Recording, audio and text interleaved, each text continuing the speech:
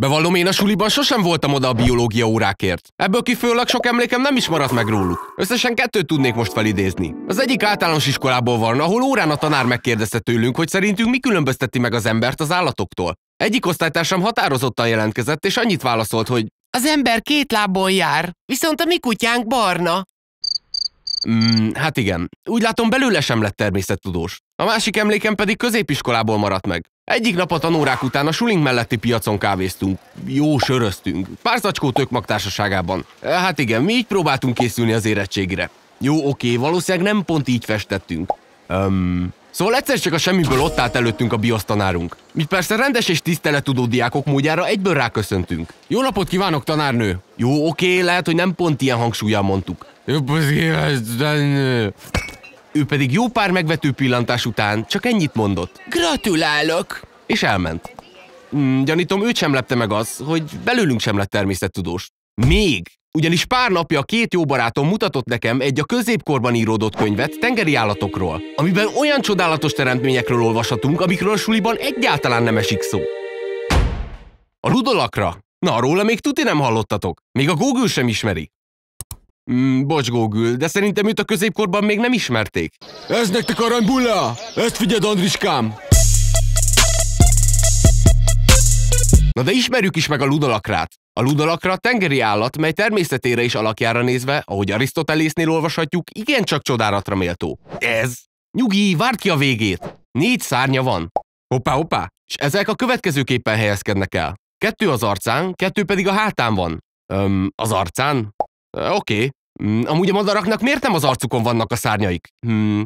Még jó, hogy a ludalakrán kívül más tengeri állat nem igazán büszkélkedhet szárnyakkal. Frankó lenne, ha a városokban a galambok mellett még a cápákat is kerülgethetnénk. Bár arra kíváncsi lennék, hogy a tiltás ellenére hányan ülnének ki a parkokba egy kiló csirkefarháttal cápákat etetni.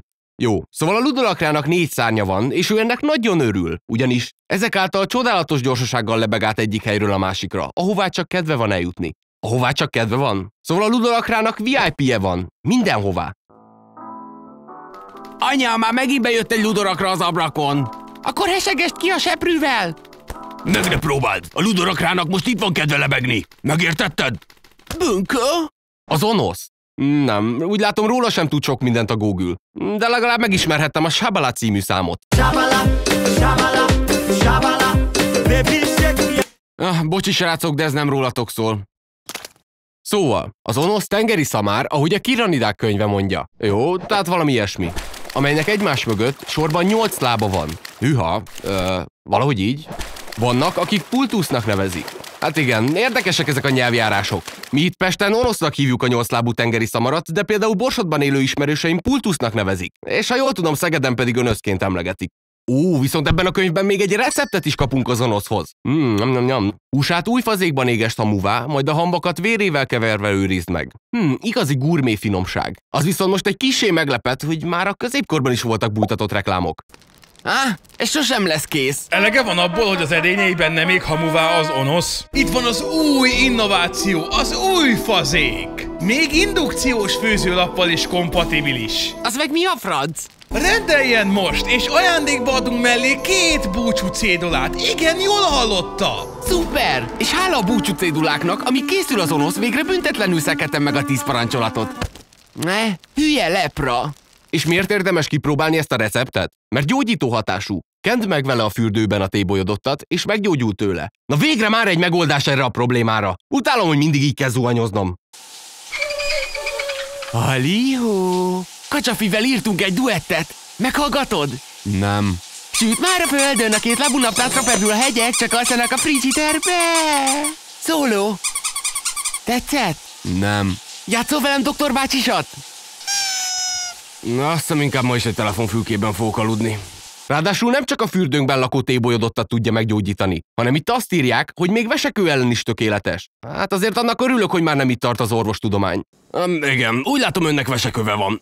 Doktor úr, és ezzel mit lehet kezdeni? Szerezzen egy onoszt. Húsát új fazékban égesse hamuvá, majd a hambakat vérével keverve őrizze meg. Um, ne haragudjon, de nincs erre valami tabletta vagy ilyesmi? Ja, de van, tessék. Szuper, köszönöm. Ebből naponta mennyit kell bevenni? Naponta kétszer étkezés előtt kell összekeverni egy varánusz vérével, majd bekenni vele a szoba négy sarkát, és... Jó, köszi, inkább meg leszek valahogy a köveimmel. Következő. Doktor úr, kapar a torkom, és napok óta köhögök. Jaj, ne aggódjon, ez csak azért van, mert maga egy boszorkány. Majd a mágia segít. Ó, már is jobb. Köszönöm szépen. Nagyon szívesen. Jó mulatást a pokolban. És ha már itt van nekünk ez a fantasztikus recept, a főzőműsorok igazán kibővíthetnék vele a repertoárjukat. Ma egy igazán különleges alapanyaggal kell majd dolgoznotok. Ez nem más, mint az onosz. Nekem azt mondták, hogy ma valami hal különlegességet kell elkészítenünk. De mégis mi a franc ez az izé? Az idő lejárt. Most már senki nem nyúlhat az ételhez. Mondom, most már senki nem nyúlhat az ételhez! Hoppá! Sándor, kérlek, hozd ki az ételed.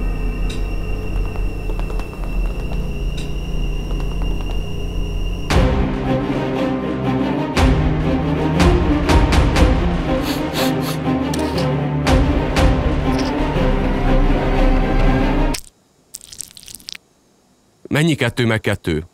Malteros lapát! Ez nem gyógyítja meg a tébolyodottat. Nagyot csalódtam benned. Hagyd el a konyhát. Most. Mi a sz ez az egész? A tengeri szerzetes. Apa, ez micsoda? Ez egy cápa. Apa, ez micsoda? Ez egy rája. Apa, ez micsoda? Ez egy tengeri szerzetes. Igen, először azt hittem, hogy valahogy így néznek ki, de meglepő módon a tengeri szerzetesről találtam képeket.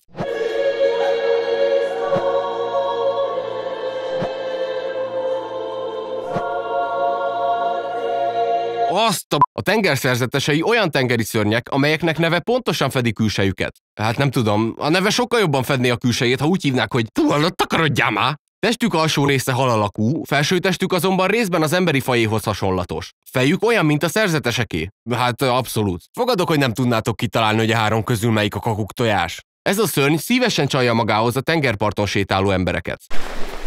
Hé, te sokám, hallod, gyere majd ide!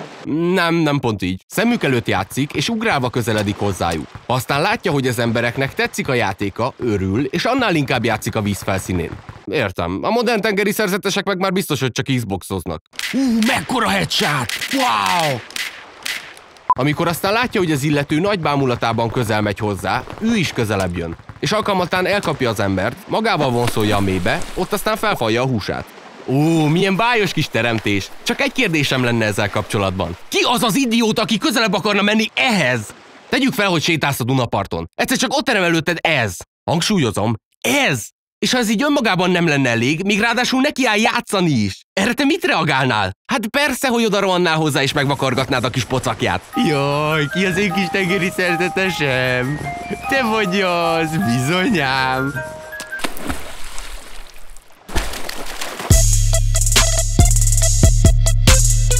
Sándor, zsűritársaimmal úgy döntöttünk, hogy kapsz tőlünk még egy esélyt. Köszönöm, séf úr! A következő feladatban egy ízletes desszertet kell majd elkészítenetek. Ez az! Tengeri szerzetesből. Na elmentek ti a pi...